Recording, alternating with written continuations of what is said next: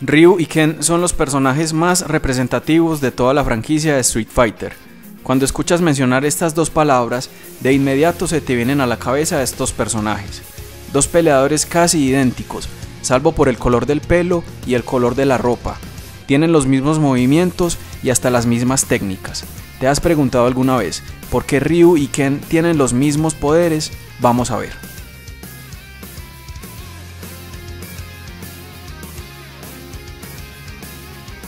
Su primera aparición fue en el primer juego de Street Fighter del año 1987.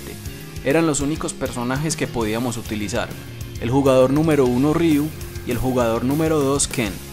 Técnicamente hablando, de ahí es donde parte lo de tener los mismos poderes. Por facilidad en la programación y jugabilidad, se presentaba el mismo personaje principal, solo que uno blanco y otro rojo para diferenciar al jugador 1 del jugador 2. Tras el éxito del primer Street Fighter, Capcom se puso las pilas y puso toda la carne en el asador para la llegada de la segunda parte.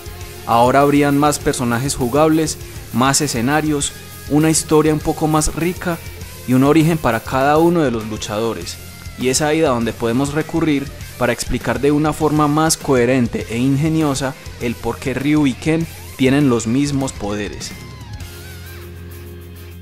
Comencemos con Ryu, es un luchador de origen japonés. Cuando era muy joven, fue abandonado por sus padres quedando huérfano. Un viejo maestro de artes marciales llamado Gouken lo encontró en la calle, lo adoptó y lo llevó a vivir a su dojo para educarlo y convertirlo en su discípulo.